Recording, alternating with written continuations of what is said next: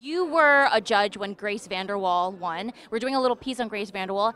The first time you saw her perform, what was your initial reaction to her? My, I was godsmacked. I was, uh, my jaw dropped to the floor because not only did I think she was an interesting character, and that song, "You Don't Know My Name," I don't play by the rules when can a 13 year old girl write something that hits so hard of somebody who's in their 60s and male?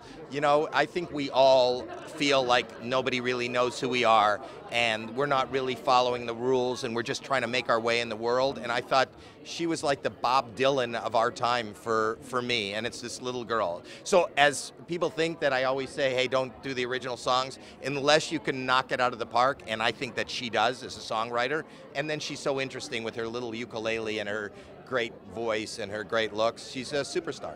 And what do you think about her successful career right now? She is just doing her thing and everything from the number one selling EP last year to Imagine Dragons national tour to the huge uh, movie that she's now doing for Disney. I just think that we are watching this meteor take off and let's just enjoy the light and and watch.